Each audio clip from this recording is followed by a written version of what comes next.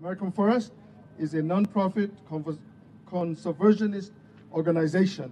And joining us from American Forest today is Jad Daley, the president and the CEO of that organization. Welcome, Jad. Thank you. And although I come from that strange land called Washington, D.C., where people aren't sure if climate change is real, um, I can tell you that it is. Um, and that uh, those of you standing over there in the shade are enjoying this surprisingly hot September day here in San Francisco a lot more than the folks who are standing in the blazing sun, which is actually why a lot of folks have headed over under that tent, which is sort of like a, a fake tree. And so when we think about what do urban forests mean for climate change, we really need to think in two lanes. We need to think about climate action. What are they doing to slow climate change down? And we need to think in terms of climate justice.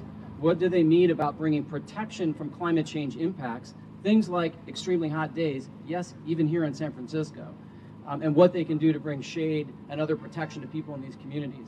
And I'll tell you that even though I'm from far away, I feel this one in my soul locally because my grandmother, Nan Daley, lived here in the Tenderloin for 30 years working for the city of San Francisco, and she was a real champion for equity, diversity, and inclusion in this city and the greening of this city. And I, I know if she were here today, she would think about what we're doing as really the perfect synergy of climate action uh, and climate justice. So I want to give you just a couple of numbers to hold on to because we've talked about some really local numbers of what can one tree do. I want to roll that up for you.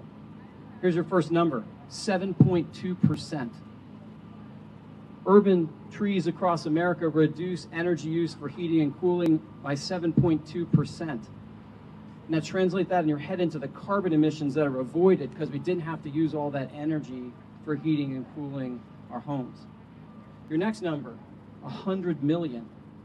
That's the metric tons of carbon dioxide that are sequestered by urban trees all across America every single year. And by the way, that's about 2% of our carbon emissions. So we're not talking about a rounding error here on climate action. We're talking about carbon mitigation squared. One of the most powerful things that we can do to solve climate change is what we're doing right here. It's bringing more tree canopy cover into our cities and taking better care of that tree canopy cover so it lasts. Now I'm going to give you one more number, and this really speaks that climate justice issue.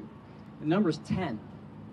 There was research done by some folks at Rollins University, the Rollins Institute of Public Health, and they project by the middle of the century, not some fantastical time in the future, the middle of this century, we're going to see a tenfold increase in heat-related deaths. And guess what?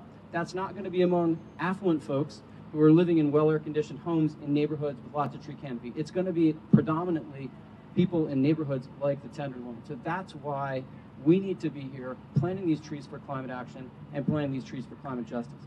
Now, the second, last thing I want to talk about is this is an us thing. This isn't about American forests. It's not about any one of the private partners or any one of the public sector partners that you've heard up here today. This is about all of us pulling the rope together. And we all came together to create this event. We have not yet had a chance to recognize that corporate partners are playing a huge role in funding this work in cities, making up the gap in funding that we need for what the money that we're not getting from the public sector. Uh, we have Rich Brown here today from Bank of America, which has been the anchor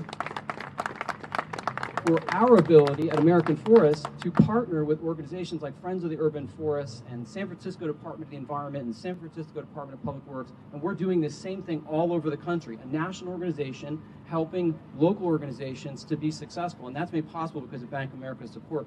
We're really grateful for that. And another corporate partner that helped to fund this planting here today is Alliance Data uh, and Epsilon. Uh, these are, are companies that are, are huge champions for urban forestry across the country, and again, are providing a part of that missing increment of funding that we need uh, to take this work to scale. So it's going to take all of us pulling the rope together um, to fully deploy urban forests as the climate solution that we need them to be. And we just really thank you all for being here today um, to lift this issue up, lift this opportunity up, and give it the attention it deserves so we can carry it forward. Thanks very much.